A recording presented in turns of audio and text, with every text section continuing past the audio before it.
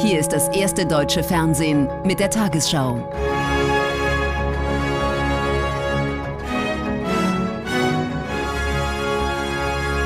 Heute im Studio Susanne Daubner. Guten Abend, meine Damen und Herren. Ich begrüße Sie zur Tagesschau. Vier Tage lang haben die US-Demokraten auf dem Parteitag in Chicago ihre neue Spitzenfrau Kamala Harris gefeiert. Zum Abschluss trat die 59-Jährige selbst vor die Delegierten und nahm die Nominierung als Präsidentschaftskandidatin an. In ihrer Rede kündigte sie unter anderem Steuererleichterungen für die Mittelklasse an und eine Reform des Einwanderungsrechts. Harris bekannte sich zur NATO und zur Unterstützung der Ukraine. Insgesamt präsentierte sie sich als Brückenbauerin und Patriotin. Der Höhepunkt des Parteitages. Es ist ihr Abend. Ich akzeptiere Ihre Nominierung, Präsidentin der Vereinigten Staaten zu werden. Gleichzeitig ist es auch die bislang wichtigste Rede ihrer Karriere. Sie wird persönlich, erzählt aus ihrem Leben und ihrer Karriere als Generalstaatsanwältin von Kalifornien, erklärt ihre Motivation, sich für Gerechtigkeit einzusetzen.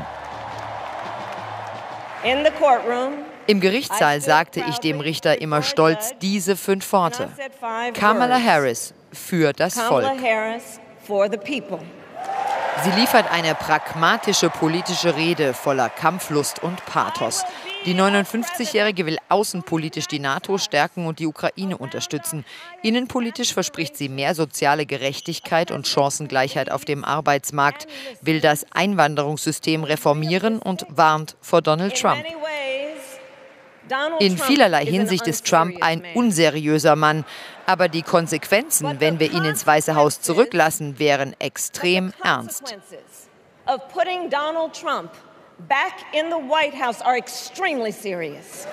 Klar wird, Begriffe wie Freiheit und Patriotismus wollen die Demokraten nicht länger den Republikanern überlassen. Ich liebe es. Es war großartig. Tolle Rede. Kamala hat das Zeug zur Präsidentin. Es ist eine unglaubliche Energie hier beim Parteitag und wir sind alle elektrisiert und bereit, Kamala Harris zur nächsten Präsidentin zu wählen. Die Demokraten sind überzeugt. Jetzt kommt es auf die bislang unentschlossenen Wähler an. Ja, fragen wir nach bei Gudrun Engel in Chicago. Mit welchen Themen will Harris denn die Unentschlossenen erreichen? Ja, wenn wir auf die Unentschlossenen gucken, dann setzt sie ganz klar auf die Themen Migration, Abtreibungsrecht, Reproduktionsmedizin und Waffengewalt. Denn das sind Themen, die absolut mehrheitsfähig sind, auch in der Mitte der Gesellschaft und um die sich eben auch die Unentschlossenen und die Wechselwähler kümmern. Sie hat sich außerdem sehr patriotisch gezeigt, hat gesagt, es sei jetzt die beste Zeit und im besten Land der Welt zu leben. Und das ist für Demokraten in dieser deutlichen Form durchaus unüblich. Es zeigt aber eben auch ganz klar, welche Ziele Zielgruppe jetzt alle Wahlkämpfer hier in den nächsten 24 Tagen ins Auge fassen. Die Euphorie ist ja im Moment riesig bei vielen Medien, auch in Deutschland. Wie steht es aber tatsächlich um die Chancen von Harris gegen Trump? Tatsächlich sind die Chancen im Moment 50-50. In den Umfragen liegen beide Parteien Kopf an Kopf. Und da das Wahlsystem hier ja so aufgebaut ist, dass am Ende nur wenige tausend Stimmen in nur wenigen Wahlbezirken einen Unterschied ausmachen können, ist es jetzt für beide Parteien wichtig, dass sie die Euphorie aus ihren jeweiligen Parteitagen mitnehmen und das Ganze nicht nur wie ein kurzer Rausch verpufft. Denn die nächste wichtige Etappe ist jetzt das große äh, die große Wahldebatte am 10. September. Dann hat man einen direkten Vergleich zwischen Harris und Trump und dann wissen die Wähler auch noch mal mehr. Gudrun Engel in Chicago, vielen Dank. Auf dem NATO-Stützpunkt Geilenkirchen bei Aachen galten heute erneut verschärfte Sicherheitsmaßnahmen zum zweiten Mal innerhalb kurzer Zeit.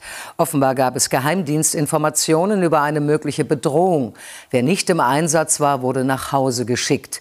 Erst am Nachmittag gab es Entwarnung. Auf dem Stützpunkt in Nordrhein-Westfalen sind AWACS-Maschinen stationiert, eine Art fliegendes Frühwarn- und Kontrollsystem der NATO. In der Nacht wird Security Alert State C für den NATO-Stützpunkt Geilenkirchen ausgegeben, die zweithöchste Sicherheitsstufe. Abriegelung, stundenlang besteht der Verdacht auf einen bevorstehenden Anschlag. Am Nachmittag dann Entwarnung. Bis dahin ist mit Ausnahme von Bodenpersonal und Besatzung der Airbags-Flugzeuge die gesamte Kaserne fast menschenleer. Die Maschinen sind das Rückgrat der NATO-Luftaufklärung. Die Vorgänge in Geilenkirchen haben auf die Standorte der Bundeswehr allerdings keine Auswirkungen. Eine generelle Erhöhung der Gefährdungsstufe für Bundeswehrstandorte ist nicht angedacht. Über die Höhe der Gefährdungsstufe wird im Bundesministerium der Verteidigung entschieden. Vor wenigen Tagen aber befürchtete man einen Anschlag auf das Luftdrehkreuz der Bundeswehr in Köln-Wahn und auf die Bundeswehr-Flugbereitschaft. Meldungen über eine mögliche Vergiftung des Trinkwassers. Vermutlich falscher Alarm, aber seitdem wird der Sprecher des Verteidigungsministeriums regelmäßig nach der Sicherheit gefragt, das letzte Mal vor zwei Tagen. Wir haben überprüft, ob wir ähm, eine sogenannte Bestreifung, also das Abgehen von bestimmten Bereichen, ähm, häufiger machen, die Wege ändern müssen. Ähm, und das ist erstmal als Ad-Hoc-Maßnahme an einigen Orten geschehen. Eine generelle Erhöhung von Gefährdungsstufen oder Ähnlichem ist nicht zu verzeichnen. Spätestens seit die Bundesrepublik nicht nur Waffen nach Kiew liefert, sondern ukrainische Soldaten auch ausbildet, ist die Nervosität hoch. Unerlaubte Drohnenflüge über die Kaserne nehmen zu, aber das Problem betreffe nicht nur das Militär, sagen Experten. Die Bedrohungslage sieht so aus, dass die Sicherheitsbehörden nicht nur Spionageangriffe und Sabotageakte gegen Bundeswehreinrichtungen befürchten, sondern auch gegen die kritische Infrastruktur insgesamt. Und da gehören eben auch Industriestandorte dazu. Nächtliche Flüge von mutmaßlichen Spionagedrohnen über dem Industriepark im schleswig-holsteinischen Brunsbüttel wurden erst gestern gemeldet. Die Staatsanwaltschaft ermittelt. Opposition und Unternehmensverbände werfen der Ampelkoalition vor, sie vernachlässige die Wirtschaftsförderung. Anfang Juli hatte die Bundesregierung ein Programm mit dem Titel Wachstumsinitiative vorgestellt. Darin waren 49 Vorschläge aufgelistet, die Unternehmen und Beschäftigte unterstützen sollten. Die Kritiker verweisen nun darauf, dass die meisten dieser Maßnahmen nur geplant, aber noch nicht vom Kabinett beschlossen sind. Der deutschen Wirtschaft geht die Luft aus. Das Wachstum ist gering und die Prognosen eher mau. Die Bundesregierung will das ändern. 49 Maßnahmen hat sie geplant, um die Wirtschaft wieder in Schwung zu bringen. Darunter Steuervereinfachungen, neue Anreize zur Gewinnung von Fachkräften oder Maßnahmen zum Bürokratieabbau. Von diesen 49 Maßnahmen wurden bislang aber nur fünf vom Kabinett beschlossen. Einige weitere werden zurzeit vorbereitet. Für die Union geht das alles viel zu langsam. Insofern ist das eine unterlassene Hilfeleistung angesichts der aktuellen schwierigen wirtschaftlichen Lage in Deutschland. Auch Wirtschaftsvertreter warnen, viele Unternehmen bräuchten jetzt schnelle Maßnahmen. Für uns ist wesentlich und wichtig, dass Geschwindigkeit reinkommt, dass es schnell geht und vor allen Dingen, dass nach Möglichkeit nicht weitere Streitereien hinsichtlich der Auslegung des Vereinbarten da sind, sondern dass wir wirklich zügig in die Umsetzung kommen. Der Bundeswirtschaftsminister weist die Kritik zurück. Im ARD-Interview der Woche betont Robert Habeck, viele Maßnahmen seien konkret in der Vorbereitung und kämen so schnell wie möglich. Schnell heißt in einer parlamentarischen Demokratie drei Monate. So drei Monate, aber ab dem die Parlamente arbeiten, so ungefähr. Das ist also, das ist, ich meine, man kann der Ampel viel vorwerfen, aber dass da geschlürt wird, das sehe ich nicht. Bis alle 49 Maßnahmen umgesetzt sind und dann auch Wirkung zeigen, könnte es dauern. Wirtschaftsvertreter erwarten dies frühestens in einem Jahr. Die Haushaltseinigung der Ampelkoalition droht, das Bahnfahren zu verteuern. Denn die geplante Finanzspritze für die Bahn fällt zwar nicht unter die Schuldenbremse, muss aber verzinst werden. Und diese Zinsen soll die DB-Tochterfirma Infrago aufbringen, der das Schienennetz gehört. Sie kassiert eine Schienenmaut für jeden Zug im Fern-, Regional- oder Güterverkehr. Diese Maut müssen die Betreiber der Züge zahlen, also entweder Privatbahnen oder die DB selbst. Um nun die höheren Zinsen zu erwirtschaften, will die Infrago die Schienenmaut erhöhen. Die Havelländische Eisenbahn ist eines der Güterverkehrsunternehmen, das die höheren Trassenpreise zahlen müsste. Sie plant, die Preiserhöhung großteils an ihre Kunden durchzureichen. Im Endeffekt werden einfach Verbraucherpreise steigen. Und bei den Verkehren, wo das nicht so ohne weiteres geht, wo es eben eine direkte Konkurrenz zu der eben anders, ganz anders finanzierten Straße gibt, ähm, da wird es zur Abwanderung auf die Straße kommen. Also es wird weniger Verkehr auf der Schiene geben. Die Trassenpreise sollen ab 2026 deutlich steigen. So sieht es ein Antrag der Bahntochter DB Infrago vor. Plus 23,5 Prozent im Nahverkehr, 10,1 Prozent im Fernverkehr und ein Plus von 14,8 Prozent im Güterverkehr. Darüber soll bis Anfang 2025 die Bundesnetzagentur entscheiden. Hintergrund ist, dass der Bund in Zukunft weniger Zuschüsse in das Bahnnetz gibt. Stattdessen will die Regierung das Eigenkapital der DB Infrago erhöhen um 4,5 Milliarden Euro. Die Zinsen muss die DB Infrago erwirtschaften. Hinzu kommt, die Bahn versucht derzeit höhere Trassenpreise im Nahverkehr auch gerichtlich durchzusetzen. Ist erstmal ein fatales Zeichen. Also wir wollen mehr Güter und mehr Personen auf die Schiene bringen, machen aber das Fahren damit deutlich teurer. Und für den Nahverkehr heißt das, mit den eh schon begrenzten Mitteln, die uns auch der Bund zur Verfügung stellt, können wir am Ende noch weniger Leistung kaufen und damit noch weniger Mobilität schaffen. Also es ist ein fürchterlich fatales Signal, was wir da gerade erleben. Die Bundesregierung diskutiert nun, die Zinsen für die DB Infrago abzusenken. Das könnte auch die Trassenpreise weniger stark ansteigen lassen. Meisterschaft, DFB-Pokalsieg und vor sechs Tagen auch noch der Gewinn des Supercups. Vor Beginn der neuen Fußball-Bundesliga-Saison sind die Erwartungen an Bayer Leverkusen hoch. Zum Auftakt der neuen Spielzeit trifft der Titelverteidiger heute Abend im Eröffnungsspiel auf Borussia Mönchengladbach. Aber auch andere Mannschaften starten mit Ambitionen in die neue Spielzeit. Das hat es lange nicht mehr gegeben. Bayern München geht nicht mehr als Titelfavorit in die neue Saison. Das einzige Team, das das bestreitet, ist der aktuelle Meister selbst, Bayer Leverkusen. Und der pflegt zum Auftakt heute Abend beim Eröffnungsspiel gegen Borussia Mönchengladbach das Understatement. Wir haben keine Favoritenrolle. Die Favoritenrolle ist, ist wieder für mich, für, für FC Bayern. Vielleicht auch deshalb, weil der Rekordmeister aus München das meiste Geld in die Hand genommen hat.